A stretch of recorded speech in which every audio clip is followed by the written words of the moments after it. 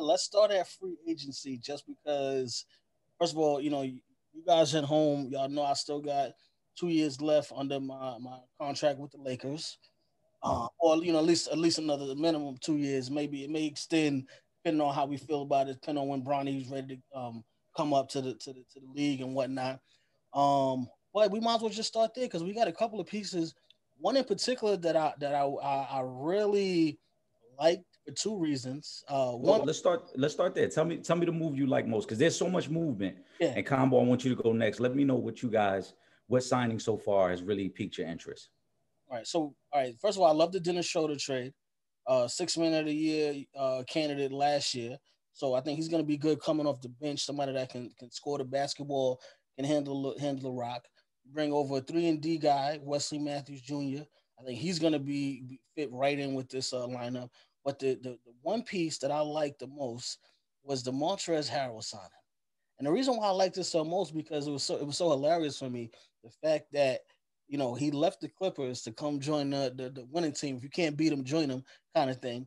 And you know, so not only like I said, he's going to be on the Lakers roster, he will no longer be on the Clippers roster. And there was one other signing that wasn't for LA that actually made me the happiest in regards to this whole situation, and that was Rajon Rondo going to Atlanta. I was so glad that Rondo didn't go to the Clippers and and uh and, and helped them out, make them make them that much better. Because I think he still has a lot left in the tank, especially for a playoff run. And I thought he would have been a, a really good fit for them had they signed him. But you know, he wanted that check, so he went down to Atlanta. So I, I'm, I'm pretty I'm pretty happy about uh about the move so far. Uh, we extended uh, Caldwell Pope, so he'll be back. And the Lakers aren't done. They, they got they got one or two moves uh, left in them. They're probably going to bring in a big man, uh, maybe Marc Gasol. Uh, maybe if they if they if they do a little stretching, they might be able to bring in in Whiteside. Um, and then they're gonna bring in another wing player, and then we're gonna we're gonna get back to it, and we we are gonna work on repeating.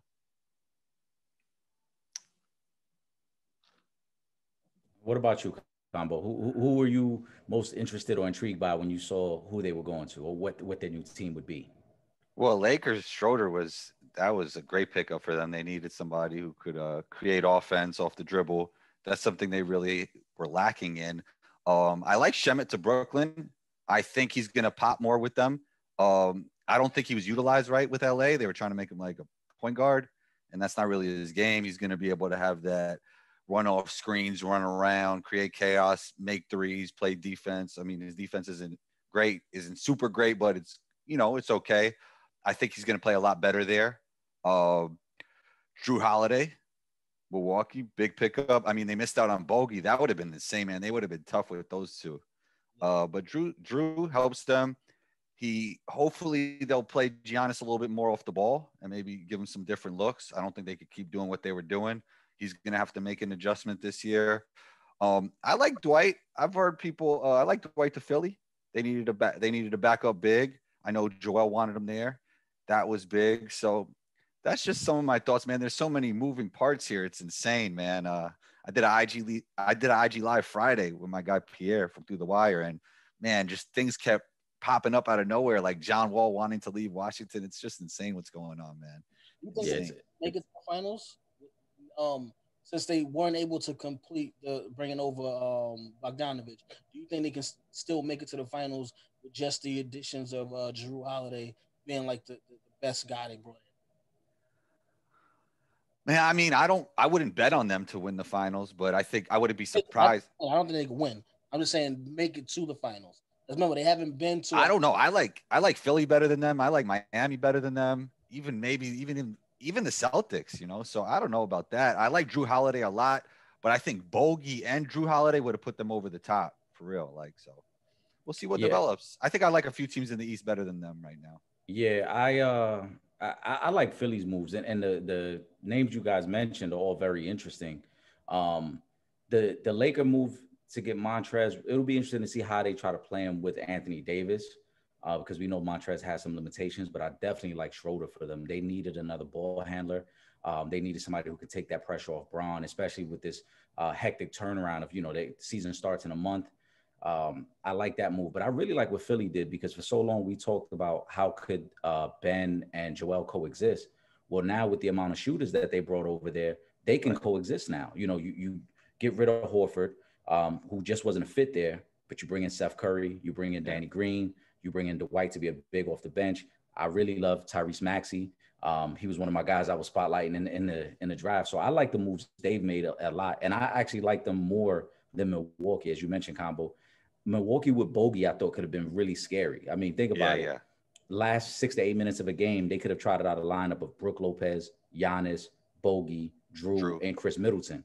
Like that would have been tough. a really, yeah. Now that that's that's nothing but shooters on the floor for Giannis to be able to go to work. And, and it's a super modern lineup. It's a modern NBA lineup. Sure. Very modern lineup, and yeah. it, it alleviates the ball handling. Now Giannis doesn't have to be the primary focus every offensive possession. So I would have loved that move for him. I like Bobby Portis for them coming off the bench because I think he's going to be a better fit than Robin Lopez um, for them. But Bogey to me would have put him over the top. But all, all in all, to me, what Philly has done so far has been great. Yeah, Seth Curry was big for them. Um, they're they're trying to go back to what they were before, just put shooters around those guys. They kind of had it at one point with JJ. Um, they're just, the Phillies just talented on the court, head coaching, and front office. They're they're talented on all three levels, man. So, you know, they got Ben and Joel on the court, they got Doc as a head coach, and they got Daryl in the front office. I mean, you got the talent. Now we just yeah. got to figure it out and make it work. Yeah, so, Philly, Philly has upgraded you. every major aspect of their organization this whole season hundred percent. They have to stay healthy. That's going to be the biggest hurdle for Philly, um, because we know that Embiid and Simmons are both injury prone. Um, I was I was glad that they were able to get out of the Al Horford contract because it just didn't work. And that's not to say that I think Al Horford is done because I think he still can contribute a lot. Just Philly just wasn't the place for him. Um, but I, I do I do love the additions, man. Like they they they got those shooters in, like like you mentioned do do you think we still see one of those guys get moved, even with the additions that they just made? Combo, go. I'll let you go first. Combo. So, which team is this? Philly. Philly. Do I see who? No, I. I mean, well, first of all, I would not move them if it was my decision. And uh, there's a chance they'll move one of them, but I, I wouldn't like to see them. I, would like to see them run it back. I'd like to see them run it back with Daryl there and Doc there. So they need one season with both of them. Dame? What'd you say? You move Ben Simmons if you could get Dame. No. No, I wouldn't. I agree. I, I wouldn't either. Um, one season is probably going to be the key. They're going to keep them together. We got to remember Daryl Morey's uh, track record. He loves pairing superstars together. The, the eight years that Harden was there, he did nothing but try to find that that superstar for him. So the only way I would see him the only way I would see him trading one of them is if he was getting a Harden type player. Um, but to your point, Trip, I wouldn't move Ben for Dame because Ben is younger and there's just more versatility in regards to what you could do with your lineup. Um, Dame's a great player, don't get me wrong, but I, I just don't know. It, you can't build the roster around Dame the way you can around Ben. You know, with Ben, as we see now, because he's built like a four but can handle the ball like a one, you can just put a bunch of shooters out there and let's say, like, let's just go to work on teams. So mm-hmm. I don't think they move either one of those guys. At least not not this season. Doesn't work. Definitely out. not this season. I think they they want for one of them. Say, that, again? If it doesn't work out this season, let's say they they don't make it out of the second round again this season. You think is is happening? Definitely. Well, season one it, of is gone. It depends on health and it depends on the results. Like if they get to the finals, uh, they lose to the Lakers, I would run it back again and see what you could do in the offseason if one of them gets hurt or both of them get hurt or you know the chemistry isn't there again then i might think about it you know but right now they're building really well around those two players and i like what i like i like what i'm seeing. Yeah it, it would depend on how it ended. Um if it ended like it did two seasons ago where they lost on a lucky shot to toronto you have to say run it back right? Like you we know that was kind of a fluky yeah. shot. Uh, this year injuries kind of prevented us being able to see what they could look like in the playoffs um, but if it's a total collapse where they just get outplayed, then yeah, you you probably move on from one of those guys. Um, I, have been of the thinking, and, and Combo and I've gone back and forth on this. I don't think Brett Brown really had the respect of that locker room, you know. Um, and I think that's something that we we may see change this year. I, I want to see if Embiid's going to come in in shape and be committed to being the dominant force he can be, because we know when Embiid is on his game, he is the best low post player in the game. I don't think there's anybody better than him on the block when he's on his game. I think as a as a scorer for sure. Yeah, Doc, I think is automatic. Like you know, you, you got to put respect on on Doc Rivers' name as soon as he steps into the building. So I think yeah, at least from that standpoint, I think we'll see a huge difference. You might even see Embiid and, and you know what I'm saying getting in the best shape he's ever been with with, uh, with, with Doc Rivers. Yeah, I heard he helped recruit Dwight, so he's he's making moves. He's making moves. We'll I, I, see. I see Dwight stay with the Lakers, but you know, it is it, it, is, it is what it is. He definitely put in work for for the Lakers uh this past season, so he deserves to, to have opportunity to go wherever he wants to go. Try Well, I think I think I think the Lakers, um, you know, they they went for more versatility, and that's why you bring in Montrez, you go after Schroeder. Uh, they want to be a little more versatile, you know, and they and they saw it in the finals too. I, I don't think Dwight had the same value to them in a finals matchup than he did in that Western Conference. You know, in the Western Conference against Jokic, you needed an athletic big man like that. Yeah. That's the role Montrez is going to have to fill now. yeah, Yeah, not as good on defense, but better on offense and more versatile. Oh yeah, he's definitely not as good because uh, Joker was giving him the business the whole second round. Yeah, and he's not, and he's not the lob threat that Dwight is. So you No. know, it's just different. It's just different.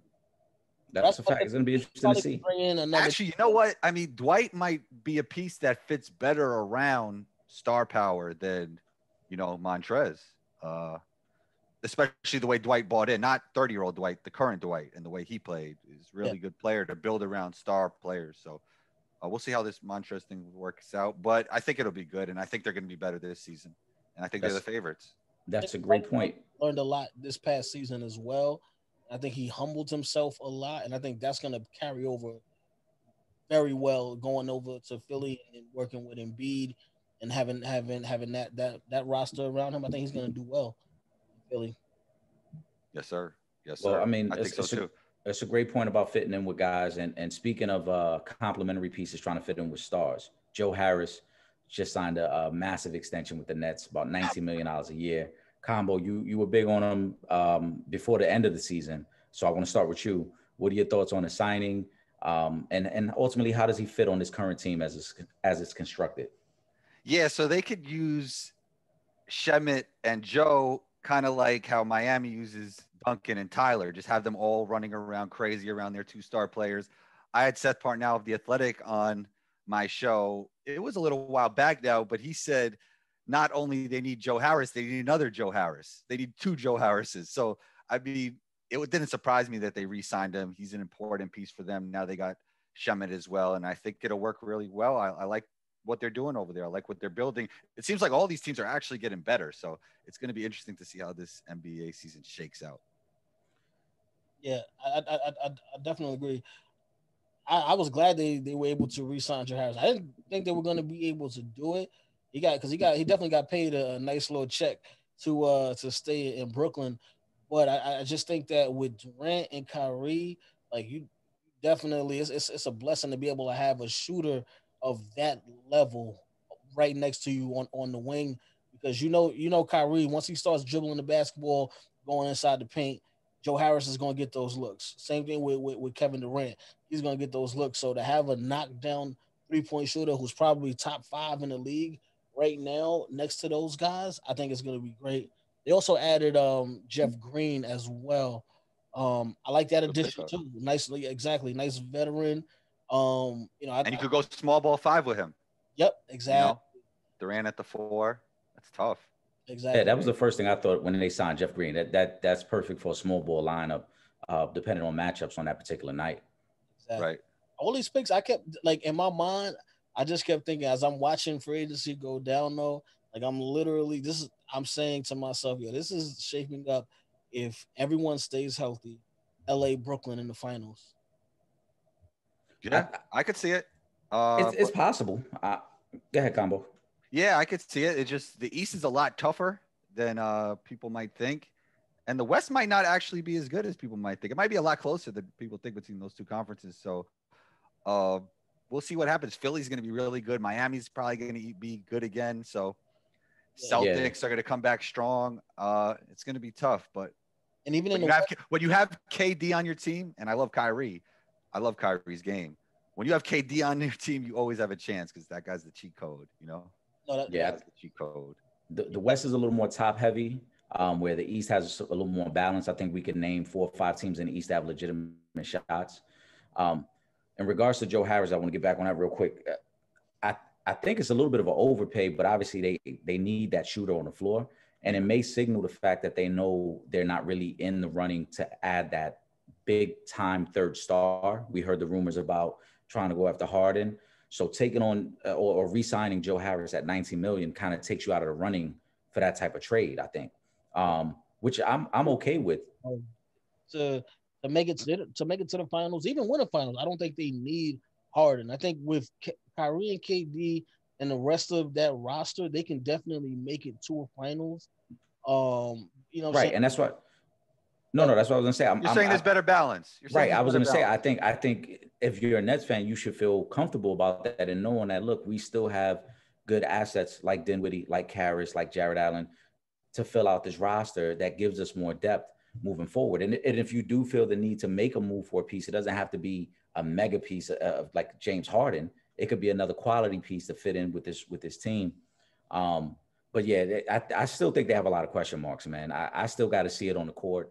I still got to see how Steve Nash is going to handle t- uh, late game situations and, and, and what type of offense they're going to run um, before I put them ahead of, as you mentioned, Boston, Philly, uh, Milwaukee. Miami. I think, yeah, Miami. I think the Nets are in that mix, but I can't put them clearly above any other team there because we just haven't seen it on the court. Well, here's my question: Can you put any team ahead of all the others?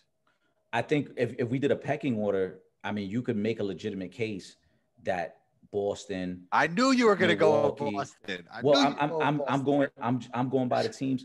My, but my it's funny that I do that. I do it. Of course, because I, I, like I like their team a lot. I um, understand. I understand. But I look at I look at this this season in particular. Boston's gonna, too. By the way, Payton Pritchard is tough. Kid is yeah. tough.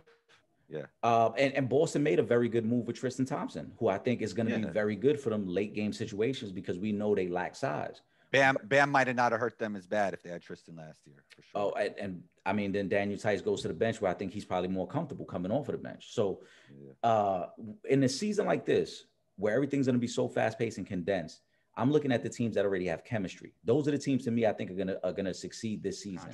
Smush Parker here, formerly up the Los Angeles Lakers, and you are now tuned in to Real Fans Real Talk. Uh huh. This is Real Fans Real Talk. Talk. Real fans, real talk. We as real as you thought.